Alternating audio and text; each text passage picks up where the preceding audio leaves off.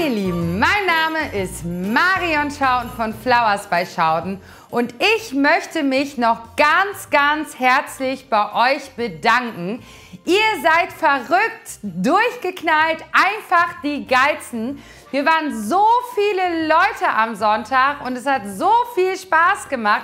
Im Nachhinein habe ich all die, also den Chatverlauf nochmal in Ruhe durchgelesen und ey, ihr kamt überall her. Das war einfach nur der Wahnsinn.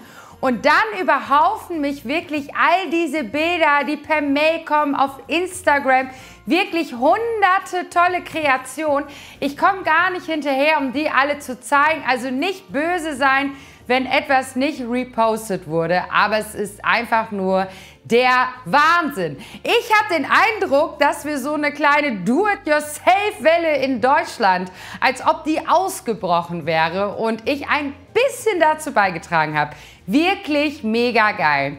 Ja, jetzt möchte ich ganz gerne auf das Video zukommen, was wir heute machen. Es ist wirklich ein Quick and Dirty Video, also ein schnelles, dreckiges Video.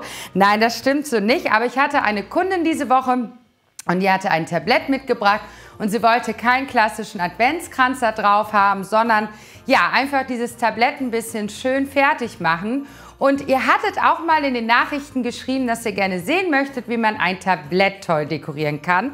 Ich habe mal ganz unterschiedliche Varianten mitgebracht. Natürlich alles weihnachtlich, adventlich angehaucht, passend zu dieser Zeit. Ich würde sagen, ich zeige euch, was wir Schönes mitgebracht haben und dann zaubern wir wieder was Schönes. Natürlich schöne Tabletts, eventuell Hyazinthen, schöne Kugeln. Für dieses Tablett habe ich jetzt vier Kerzen mitgebracht, ein paar Naturzapfen und Polstermoos. Dies ist so eine neue Landschaft, so ein bisschen skandinavisch angehaucht, mit kleinen Häuschen, kleinen Bäumchen. Und dies wird eine ganz pure, klare Dekoration mit vier weißen Kerzen. Ja, ihr seht, ich habe unterschiedliche Gruppen vorbereitet. Das ist Gruppe 1, das ist Gruppe 2 und das ist Gruppe 3. Wir fangen mal Mitte an. Mitte an. Also ich habe hier jetzt einfach ein Zinktablett äh, mitgenommen, so ein bisschen in länglich. Man könnte auch ein Holztablett nehmen. Und es gibt ja heutzutage so ganz, ganz tolle Kerzenhalter. Ich habe jetzt hier einen aus Messing. Da habe ich so ein paar Anissternchen reingemacht. Dann habe ich hier einen aus Marmor, vielleicht dann natürlich so ein kleines Pappmaché-Häuschen. Und mir war einfach wichtig, dass es alles so ein bisschen purer und klarer wirkt, so von der Idee her. Ich mag das eigentlich so von der Aufteilung her schon ganz gerne. Und wieder eins, zwei, drei, vier Kerzen. Also trotzdem ist es adventlich. Jetzt ist es so noch sehr nüchtern und man könnte das noch so ein bisschen aufpimpen, indem man zum Beispiel einen schönen Magnolienast hier drauflegt. Man muss schauen, was man da hat oder ich habe heute auch mal ganz außergewöhnlich, ich mache ja immer sehr viel mit der äh, Nobilis-Tanne, habe ich jetzt aber einfach mal einmal die Nordmann-Tanne mitgenommen und ihr seht, super simpel, lege ich so ein bisschen mit drauf, mit dazu. Man könnte jetzt eventuell noch ein, ups, kleine Zapfen dazulegen, wenn man möchte, nochmal dieses bräunliche zu wiederholen und ihr seht, die Deko ist fertig. Also weniger ist da einfach mehr. Und wer so einen Farbakzent braucht, der könnte sogar noch einen tollen Ilex-Ast oder so drüber legen. Das wäre mir jetzt so ein bisschen too much. Aber es würde sogar in dieser Farbe ganz cool aussehen. Oder man sagt, ganz kleine Äste legt man einfach noch als Farbakzent dazu. Ich würde es allerdings so schlicht und so nüchtern halten und wenn man die Kerzen dann anhat, sieht es wirklich wunderschön aus. Und das Tolle an so einem Tablett ist, das Tannengrün kann man natürlich wirklich sagen, gut, tausche ich in zehn Tagen aus und dann lege ich wieder was Frisches drauf. Jetzt habe ich hier so eine Art Käsebrett, würde ich sagen, eigentlich ganz toll geeignet für einen Adventskranz. Und ich habe noch einen ähm, Eukalyptuskranz äh, gewickelt oder der äh, wurde gewickelt von Kollegen von mir, der ist schon so leicht angetrocknet. Aber ich finde trotzdem, dass er Patina hat. Der sieht ganz toll aus mit diesen Fruchtständen und der wird noch ein bisschen heller grau. Aber dann sieht man, wie toll das Eukalyptus eigentlich auch eintrocknet. Hier habe ich sehr, sehr schöne Kerzen und deswegen braucht er auch nicht so viel Schnickschnack dran. Diese Schneekerzen, die habe ich letztes Jahr auf dem ja, Weihnachtsmarkt in Schweden entdeckt und ich bin jetzt ganz happy, dass wir sie auch haben, weil die die meistens auch einfach nur ganz schlicht auf dem Tablett dekoriert haben. Jetzt habe ich diese äh, Kerzenhalter, ich finde die ganz witzig, weil die haben hier noch so Nummern dran mit 1 und 2, die restlichen Kerzen, dann kann man die auch eigentlich jeden Tag anmachen oder gerade die Zahl, die da ist. Finde ich so sehr schlicht, sehr nüchtern, gefällt mir persönlich. Ich mag das so, aber wer jetzt ein bisschen mehr Bewegung braucht, der packt einfach noch mal so einen Magnolienast dazu oder einen schönen Olivenast. Da könnte man jetzt auch noch mal ein bisschen Eukalyptus zur Auflockerung drauflegen. Oder hier würde natürlich auch ein Ilex-Ast sehr schön aussehen als Farbakzent. I keep it simple today. Das ist heute meine Devise. Also wie gesagt, ein äh, kurzes, schnelles Video von mir, wie man schnell ein schönes Tablett... Oh, das mit der Kiefer gefällt mir allerdings auch noch sehr gut. Ne? Das macht es noch so ein bisschen lockerer. Dann ist es nicht so ganz nüchtern. Komm. Wir sind ja auch alle so ein bisschen am Dekorieren. Finde ich sehr schön. Jetzt kommen wir aber zum Highlight und das ist dieses große Tablett. Das stellt meistens das größte Problem dar. Viele Leute haben sehr, sehr schöne Tabletts zu Hause und es werden meistens einfach nur Kerzen drauf drapiert, über dem Sommer und im Winter. Ich finde es ganz toll, wenn man zum Advent wirklich die Zahl 4 nochmal aufgreift. Man muss es nicht, man kann es aber. Und ich finde auch farblich das ganz schön, um es so ein bisschen zu mischen. Also man kann alles in Pink, Bordeaux-Tönen nehmen. Ich habe das jetzt alles so in Creme-Goldtönen genommen. Das wirkt sehr schön und natürlich. Und in jedem skandinavischen Haushalt ist eigentlich eine Hyazinthe. Viele mögen den Duft nicht, aber ich finde dieses grüne, ja, Frühlingserwachen oder einfach dieser neue Start sehr schön und deswegen platziere ich die auch sehr gerne. Weil wenn ich in Schweden zu Besuch bin zu Weihnachten, die haben immer Hyazinthen zu Hause.